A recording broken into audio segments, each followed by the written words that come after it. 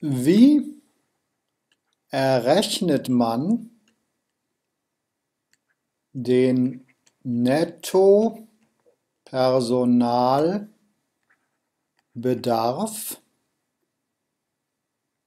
im Rahmen der quantitativen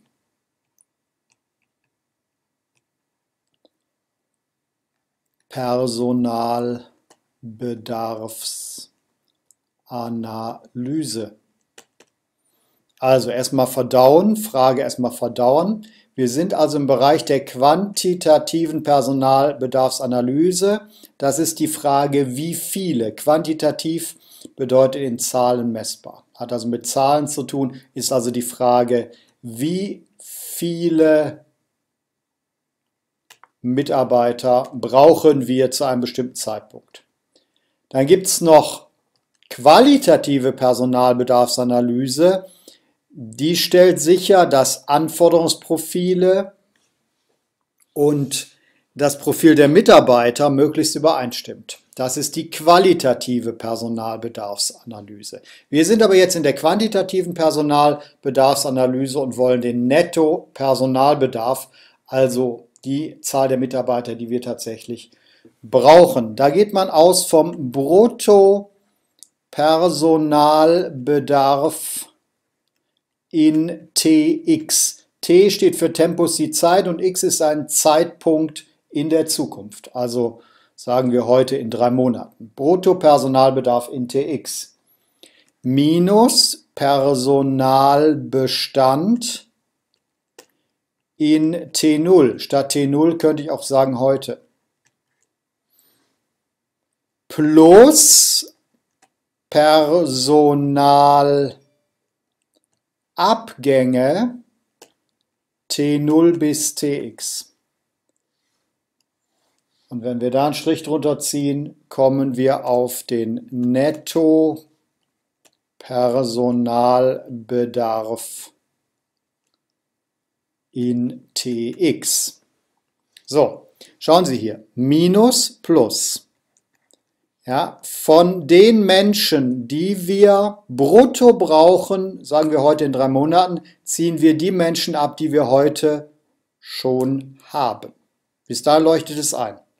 Was ein bisschen irritierend ist für manche, ist dieses Plus, aber das Plus ist richtig, denn plus Personalabgänge sind die Menschen, die wir im Zeitraum heute bis, sagen wir heute in drei Monaten, noch verlieren werden. Durch Kündigung, durch Tod, durch was weiß ich. Ja, also Personalabgänge T0 minus Tx werden wir verlieren. Deswegen erhöht sich hier der Netto-Personalbedarf um diese Abgänge oder in Zahlen. Nehmen wir an, wir brauchen in drei Monaten brauchen wir 100 Leute.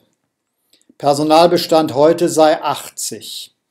So, jetzt können wir sagen 100 minus 80, wir brauchen also 20 Leute tatsächlich netto in drei Monaten.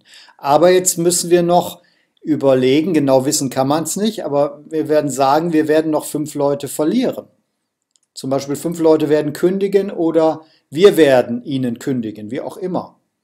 Ja, dann erhöht das wieder den Personalbedarf. Hier haben wir 10 minus 80, 20. Jetzt müssen wir wieder 5 dazu rechnen. Das heißt, unser Netto-Personalbedarf in TX sind 25 Leute, weil wir das hier auch noch abfangen müssen. Natürlich ist das hier nur eine Schätzung. Ja, genau wissen kann man es nicht, aber wir müssen hier eine Zeile einziehen dafür, weil das ist Fluktuation und das gibt es eben und das müssen wir einplanen.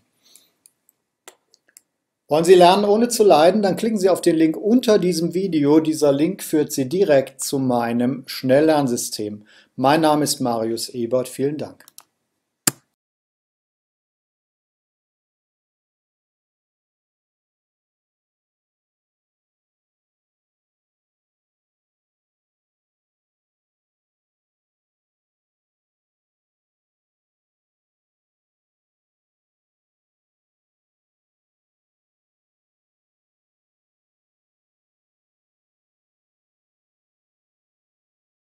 Im Übrigen glaube ich, dass wer einen Fernlehrgang bucht, sich durch schöne Werbebilder hat täuschen lassen. Er muss nun unter dieser Täuschung leiden. Wollen Sie hingegen lernen ohne Leiden? Dann klicken Sie einfach auf den Link unter diesem Video.